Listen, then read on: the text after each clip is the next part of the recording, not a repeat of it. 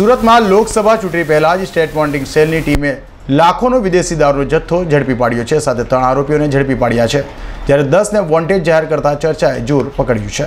સુરતમાં દારૂબંધીની વાતો માત્ર કાગળ પૂરતી હોય તેમ લાગી રહ્યું છે.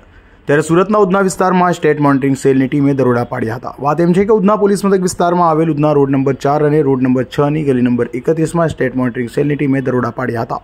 જ્યાંથી એક લાખ અડતાલીસ હજાર નવસોના દારૂના જથ્થા અને મોબાઈલ ફોન રોકડા રૂપિયા સહિત બે લાખ પંદર હજારથી વધુનો મુદ્દામાલ પોલીસે ઝડપી પાડ્યો હતો સાથે ત્યાંથી પ્રવીણ દિનેશ પરમાર નીતિન રામચંદ્ર જયસ્વાલ અને રતનબેન ડાહિયાભાઈ પડિયાને ઝડપી પાડ્યા હતા ત્યારે દારૂનો અડ્ડો ચલાવનાર બુટલેગર સફીક કુદ્દીન ઉર્ફે લાલો સિમાદા તરુફુદ્દીન ફારૂખી શેખ સોહેલુદ્દીન તર્રુકિદ્દીન ફારૂખી શેખ શકીલુદ્દીન તર્રુકિદ્દીન ફારૂખી શેખ અલ્તાફ રહીશ શેખ મોહસિન ખાન પઠાણ દીપક પંડ્યા કાઝીમુદ્દીન અને ક્યુઆર કોડના ત્રણ માલિકોને વોન્ટેડ જાહેર કરાયા હતા.